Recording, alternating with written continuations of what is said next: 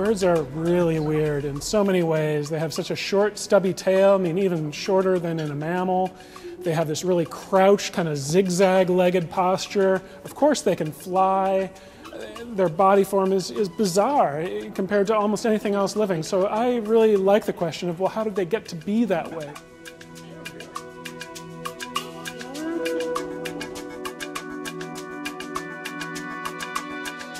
For me, it's, it's a question of bipedality. I'm interested in uh, things walking on two legs, which, I mean, in the modern world is basically limited to us and birds. When humans walk around, we tend to walk around on fairly straight legs. Our legs act uh, somewhat like a column. So they support our weight um, using mainly the bones. It's a fairly straight line from our center of mass, the average position of uh, our body weight, straight down the leg. Whereas when birds stand, they have very bent legs, these very zigzag legs, which mechanically is slightly counterintuitive because it takes a lot more muscular effort to stand like that. All right, time to see the birds.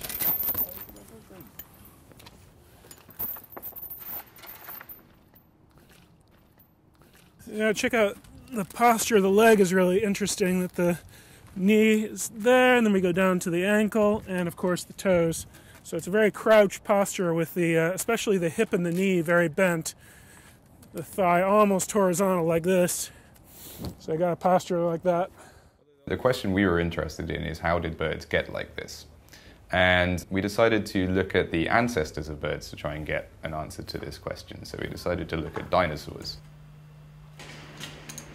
One of the best fossil records of any vertebrate group is the dinosaur lineage, and that shows how birds got the way they are today. We just need to put it together in a computer and track the evolution of fossils we know, and that allows us to reconstruct how body form and therefore posture evolved.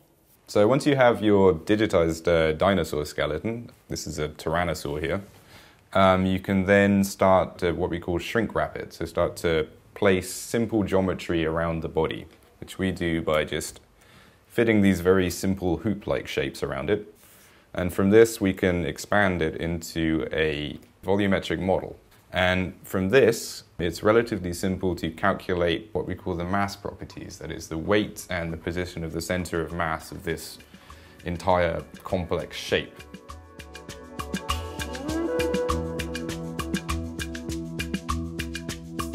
So in our models, we chose animals that were represented by good skeletons, that were three-dimensionally preserved pretty well, and that represented the key changes in the anatomy of dinosaurs from big, heavy-tailed, two-legged dinosaurs like T-Rex to later kind of short-tailed or more rod-like tailed, larger four-limbed animals like Archaeopteryx and Velociraptor.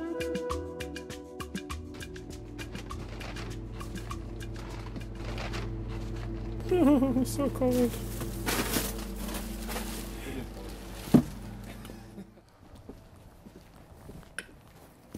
The crocodile really nicely represents the body form that dinosaurs ultimately evolved from. The common ancestor of crocodiles, birds, and extinct dinosaurs was, all, was rather like a crocodile in many ways in, in its general shape. So we look at the crocodile, huge muscular tail here. It's very much like what dinosaurs started off with early in their evolution. And short little forelimbs, slightly larger, more muscular hind limbs, nice big head full of teeth. Uh, very different kind of body form than a bird, uh, like this frozen pheasant we have here, or like uh, the turkeys uh, that we have uh, around our lab, or the emus. We thought, just like everyone else, that as dinosaur tails shortened and became lighter, the center of mass moved forward, and that was the conventional story. Well, our computer modeling that uh, Vivian and others did showed that the center of mass of dinosaurs did move forwards toward the head during their evolution, but it wasn't really the tail that drove that change of center of mass during their evolution, was it, Viv? Well, no, according to our results, there's a stronger association between the development of large forearms, I mean, the things that eventually become the wings of birds, and that it was this, this trend towards larger arms that was driving the center of mass forwards more than the tail. And that change of center of mass forwards would have required the animals to stand in a more and more crouched posture. So going from a straight-legged kind of posture, like in humans almost, Yeah. to a more crouched posture, which birds have today. And more and more bird-like. The obvious question when dealing with anything about the evolution of locomotion in birds is is this associated with flight? And our results uh, suggest that, in a way, yes. If you have these very large forearms for flying, then because of the effect on the position of the center of mass, this will inevitably change how your hind limbs work, so what your hind limb posture is.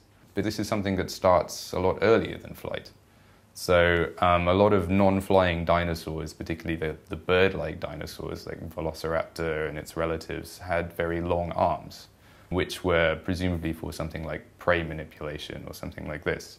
And this, um, it's this development of long arms that kind of kick-started the, the shift towards crouch posture, which was then inherited by flying animals and became sort of emphasized as the forearms got even larger to work as wings.